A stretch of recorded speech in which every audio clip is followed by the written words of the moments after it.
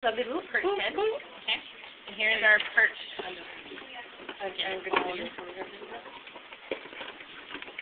right. Okay, so let's start with our premaxilla. Okay, it's the little part that's going to have the teeth on it. Okay, so you can feel it's got teeth. And then you've got your dentary down here, also has the teeth. Okay, so dentary, premaxilla has teeth. This lovely triangle shape here is your maxilla. Okay, right up here is your nasals. Behind it is your frontal. Okay, this little funny looking bit right here is your preoperculum. This big part right here is your operculum. Preoperculum, operculum, coming before the one behind it. Alright? This is what?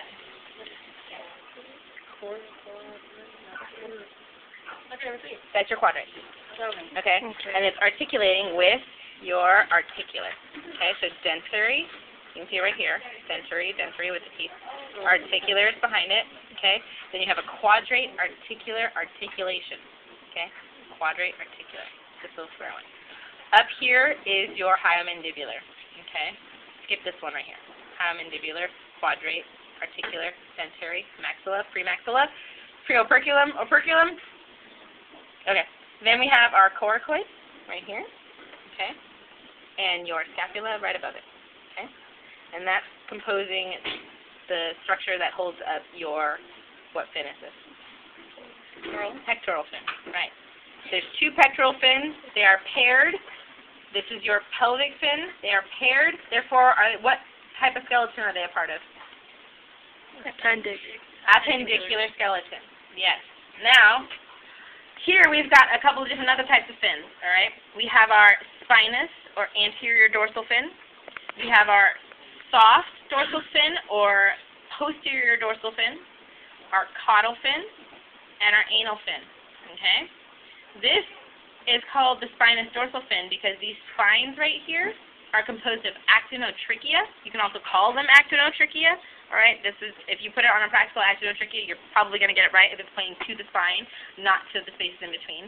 Okay, it's actinotrichia because it's all like this really solid protein that's forming these. It's really spiky. That's why it's called the spinous dorsal fin.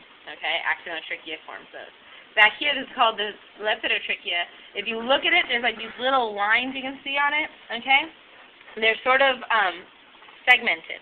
So it gives it a softer, more flexible feel. That's why it's called the soft dorsal fin.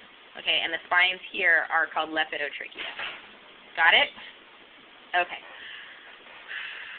Then you have your caudal fin and your anal fin. All of these are not paired, so what part of the skeleton are they? Axial. Good. All right. Um, let's see. We also have ribs. We have two different types of ribs. Okay. The long ones that are coming down are called what? Ventral ribs. Okay. Or pleural ribs, I believe. Right? Yes. Where am I? I see this is where I have this. Pleural Pleural ribs. Okay, yeah. And then these little ones here, see it here, see it here, see it here, see it like the little ones coming off on the side right there. These are your dorsal ribs. Okay, also called epipleural ribs on top of the pleural ribs. Okay. so the dorsal ribs are coming off of the You see them now? They're going different directions. The dorsal ribs are going like straight back. Okay. The the pleural ribs are going like down. Okay, down versus back. Okay, directions of them. Um, you have two different types of spines coming off of your vertebrae here. You have your neural spines here coming off the top, and then hemal spines here coming down off the bottom. Okay, hemal spines neural spines, boo boo boo, recall positions of the notochord, nerve cord, yada yada yada yada yada yada. Okay. Um, good. That's the fish. Okay.